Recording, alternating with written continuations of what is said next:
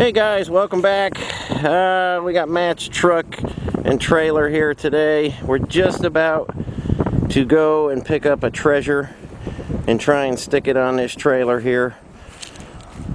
This is Matt's little light hauler and uh, we're headed out to Garry's place. I think you guys remember Garry.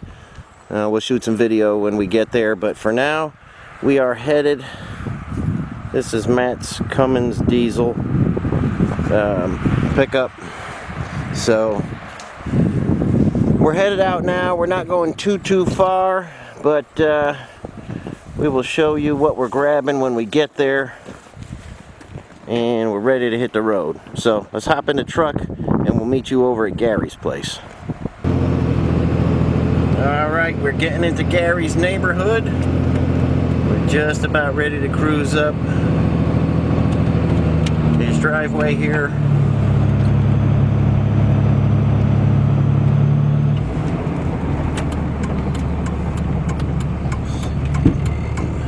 Back in. We're gonna try and get Matt backing in this guy here. We can't see our treasure yet, but just one second while we back in.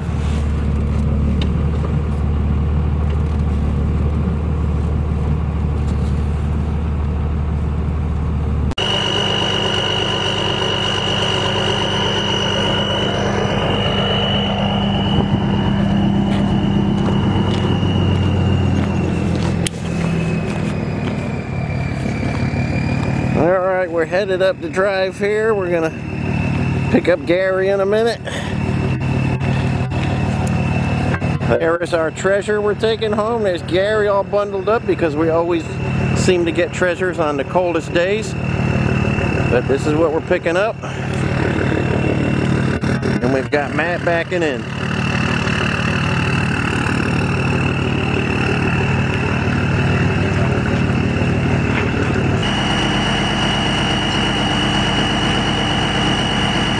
Okay guys, like a lot of things, the brakes are all locked up on this guy. Matt just hooked the chain to it and we're going to try and just get it yanked out a little bit so we can get it lined up with the trailer.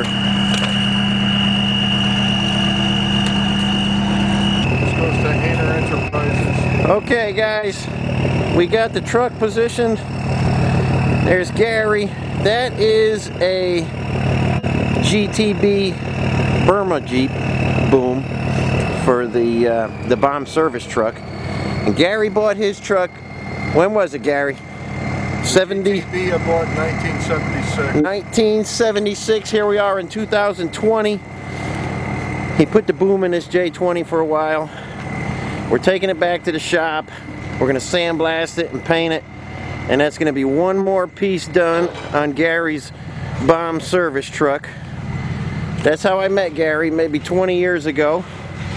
A guy came into the shop and told me somebody not far from me had a Burma Jeep and I didn't believe it and that's when I met Garry. Yeah, I couldn't believe it either that there's some guy told me that hey, there's a guy in Branford, Connecticut's got a GTB and I said no, I haven't seen one in 30 years. Yeah. So but birds of a feather flock together. Yes, sir. We're gonna we're gonna take a look at Garry's garage there. We're gonna go look at some tractors in a little bit. Garry's got a tractor sickness, but he's had this J20 and the Burma Jeep for quite some time. We're letting Matt do all the work today. And inside's pretty clean. Uh, it's hard to see, but 93,000 on here. Uh, it's got the 360, it's got the automatic. This is a very, very, very late truck, one of the last ones built. This is titled. The title says 88. Title says 88, and they only made them. So last year they made them. Yeah, only made them up in 87. So this is a very, very late truck. A couple areas of rust here, but not too bad. I can fix that up. So I guarantee you, this is probably the only J20 in the country that's got a GTB boom. You got that right, Garry. Oh, I used to tell people this is the only, you come trying to find my house, I'm the only one in the, on the street with a J20 with a GTB boom. This is true. All right, we'll keep letting Matt do all the work today. He's getting his winch ready. We're gonna try and get that guy on the trailer. It's the same, the, the wheelbase here, the wheel width is the same as his uh, fenders here. So we'll see how it goes.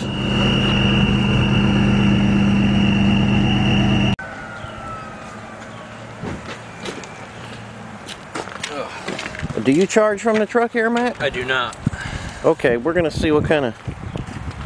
Hopefully, Matt's got a fresh battery. We're gonna see what kind of results we get pulling this guy up here.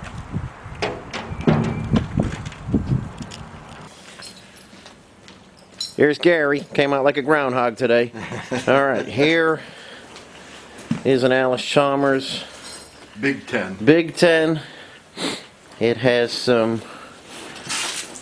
What's good? What kind of problems we got on this one, Garry? The double gearbox needs to be overhauled. Bevel gearbox is getting overhauled on this one. What's under the cover here, Garry? That's an Allis-Chalmers 720. It's got a big 720 there, waiting for its big repowered day with a Honda engine. Yep. Get the uh, the, the the shop hoist. You don't see too We'll many. come around to that one. What is That's the snow blower that goes on the Alice Chalmers. Garry just restored this snowblower? Come around to the other bay. It's got a monster mower deck here he's rebuilding. That's for the that's for the the big Allis-Chalmers. What do we got here, Garry? The 1965 Allis-Chalmers B10. It's all been restored. Just need to kind of get it back together. Here's Garry's one of a kind shop crane. That I got from a junk pile. Restored that. Check out Garry's inventory. Look at this wall here. It's a Garry, hardware store. Garry's got more cans lined up on this wall than most people. Plenty of nuts and bolts to take care of all his projects. Right.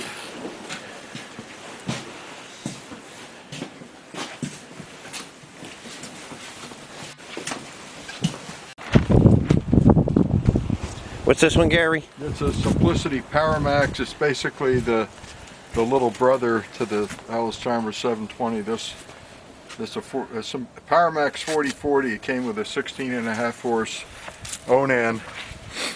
I got it. It's got a rototiller attachment and a 52 inch snowblower. Garry is the little garden tractor man. He's got plenty of stuff tucked away in the weeds back there. But uh, he's making it happen. Well, you know, when it comes to comes to this stuff, too Ooh. much is never enough. What do we got under there? That's the snowblower. It's, it's it's light duty. 52 inch, weighs 350 pounds. So I guess it'll get the job done. Absolutely. We're going to get that one back to the shop one of these days, sandblast it, take it apart, and put it back together. And here is Garry's GTB frame piled with stuff. Let's hope we can shame him into doing something on this. Yeah, that's that's going to be the priority now. Piled with ladders and stuff.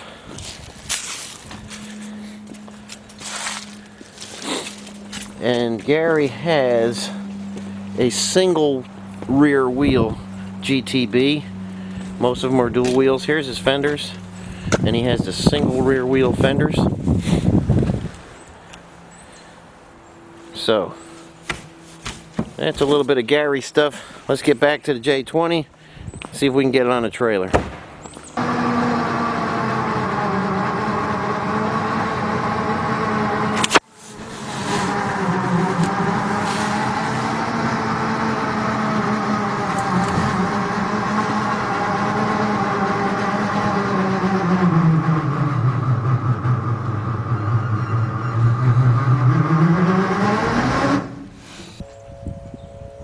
Okay, we made it back to the barn here, and we're just gonna get the straps untied and get it off the trailer.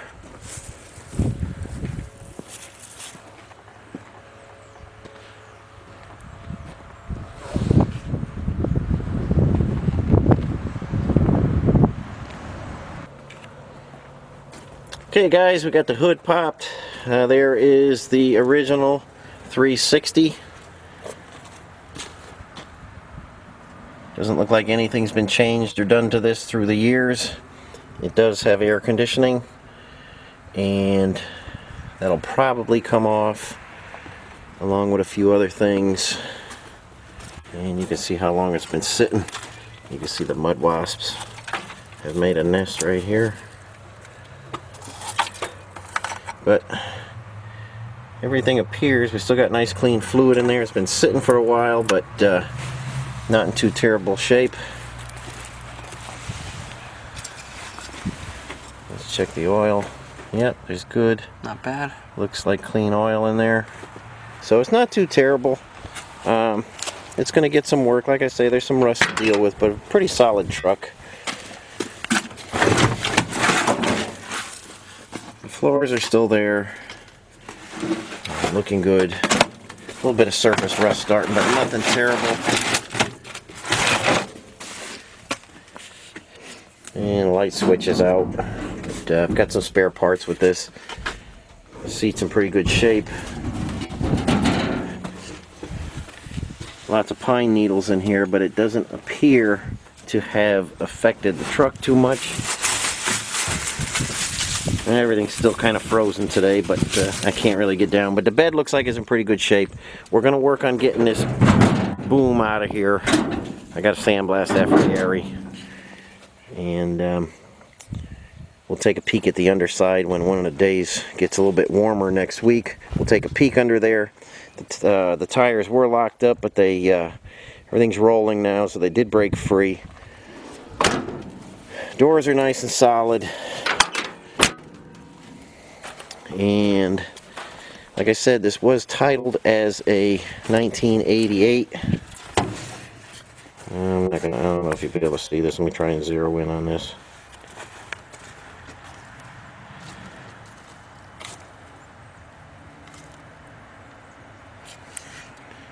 conforms to EPA regulations for um, 1988 model years. So this was either a very late 87 or maybe a few of them squeaked through in 88. I didn't think so. Um, but uh, this is title as a 1988. And we're going to get this guy going. And this is going to be a daily driver for me. So, every now and again, you do bring home a treasure, and I'm super happy with this guy, so uh, we'll just keep picking away at it little by little until we got a roadworthy truck. So, um, Matt has got some more vehicles coming in next week, and we'll bring you some more videos of some things that Matt's selling. And remember, he's trying to fund CJ2A number 8, so anything you guys can do to help him out would be fantastic. Um, but for today, hope you enjoyed seeing the J20 come back. And uh, thanks for watching. And we'll be with you again soon.